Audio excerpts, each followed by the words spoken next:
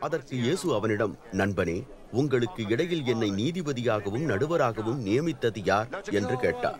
பின்பு இயேசு அவர்களிடம் எச்சரிக்கையாயிருங்கள். எல்லா விதமான பேராசைகளை குறித்தும் கவனமாயிருங்கள். ஒரு மனிதனின் வாழ்க்கை அவனிடம் இருக்கும் உடைமைகளின் நிறைவில் தங்கியிருப்பதில்லை என்றார். மேலும் அவர் அவர்களுக்கு இந்த கதையை சொன்னார். ஒரு செல்வந்தனுக்கு சொந்தமான நிலம் நல்ல விளைச்சலை கொடுத்தது. அவன் நான் என்ன செய்வேன்? விளைந்த தானியத்தை பத்திரப்படுத்த இடம் போதாதே என்று தனக்குள் நினைத்துக் கொண்டான். பின்பு அவன் நான் ஒன்று செய்வேன். நான் என்னுடைய களஞ்சியங்களை இடித்து அவற்றை பெரிதாக கட்டுவேன். அங்கே என்னுடைய எல்லா தானியங்களையும் பொருட்களையும் சேமித்து வைப்பேன்.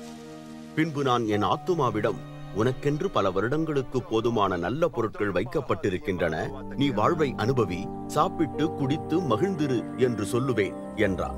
அப்பொழுது இறைவன் அவனிடம் மூடனே இந்த இரவிலேயே உன் உயிர் உன்னிடமிருந்து எடுக்கப்படும். அப்பொழுது நீ உனக்கென்று சேமித்து வைத்தவைகள் யாருக்கு சொந்தமாகும்? என்று கேட்டார்.